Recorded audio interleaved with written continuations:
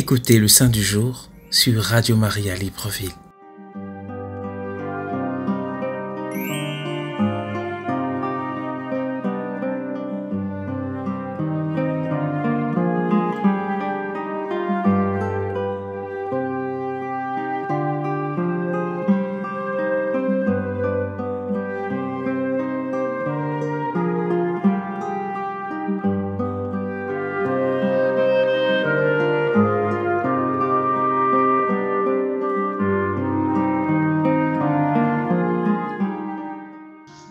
Shalom, frères et sœurs, auditeurs et auditrices de Radio Maria. Que la paix soit sur vous. Aujourd'hui, 1er février, la Sainte Église célèbre la bienheureuse Louise Albertoni, veuve romaine. Écoutons la vie de la bienheureuse Louise Albertoni, une vie d'abandon au Seigneur.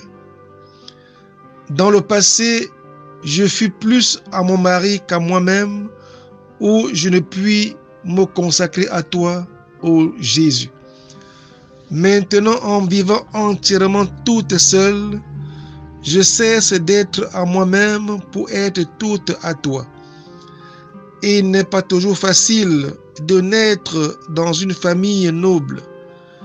Il est vrai qu'il y a la garantie de la subsistance, mais il y a des obligations souvent lourdes auxquelles il faut se soumettre.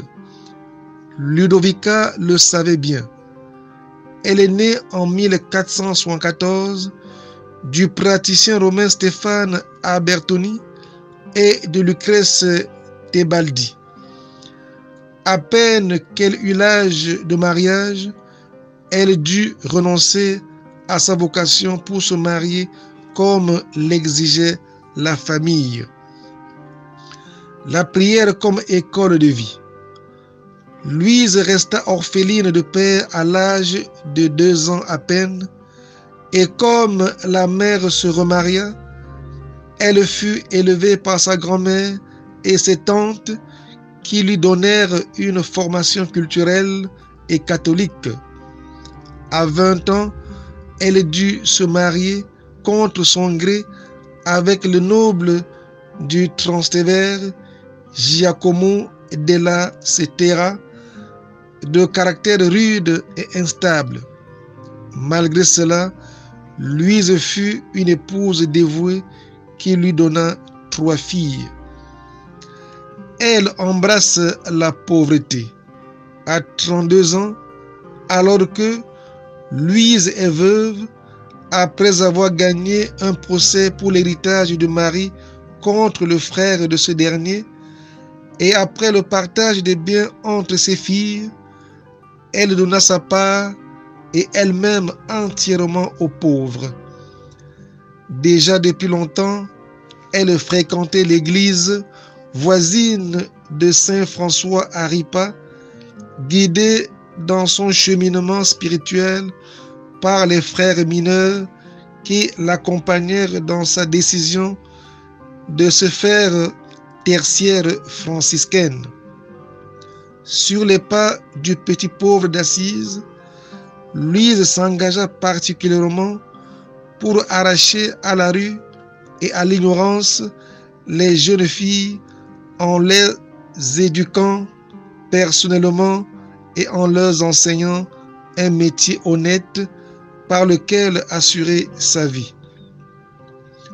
En 152, pendant le sac de Rome par les Lanzi Chenekchi, elle se prodigua beaucoup pour aider le peuple romain en ouvrant jusqu'aux portes de sa maison et en gagnant ainsi le surnom de mère des pauvres.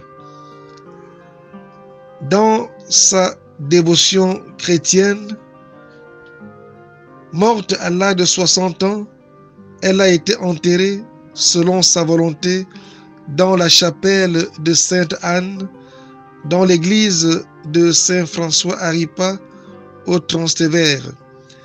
Elle fut immédiatement vénérée par les Romains qui connaissaient sa bonté légendaire mais aussi les épisodes d'extase et de lévitation que dans sa vie le Seigneur avait voulu lui donner, mais au point que l'artiste géant Lorenzo de Bernay, dans sa célèbre statue, chef d'œuvre de la sculpture baroque, a justement voulu la représenter en mystique.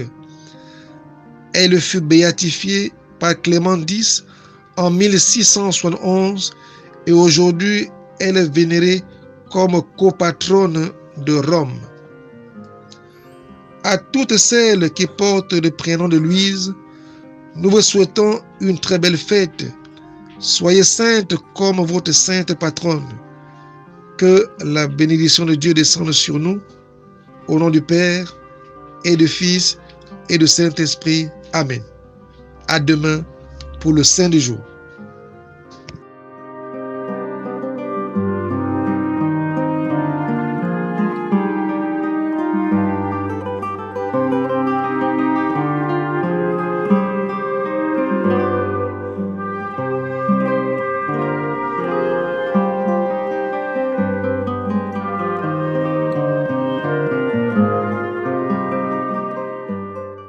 Écoutez le Saint du jour sur Radio Maria Libreville.